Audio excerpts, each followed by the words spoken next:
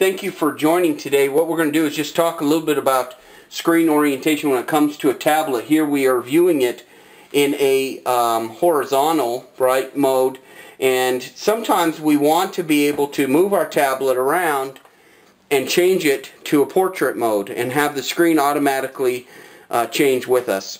Sometimes we don't. So let's kind of go uh, through just a real quick setting of how we do that on the tablet itself. Alright, so let's make sure we're in the screen area here. All we're going to do is, is swipe the tablet from the right hand side and select search.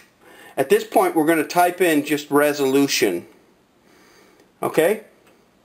And we'll just go there. Notice it says no, no apps are found because we want to go to the settings section. We're just going to click on settings there.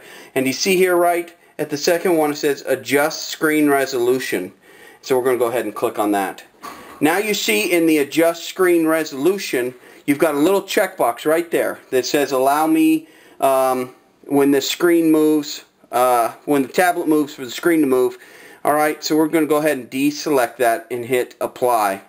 When we do that, now if you notice, when we rotate it, the screen does not move. So we're going to put the screen back on there and select this one more time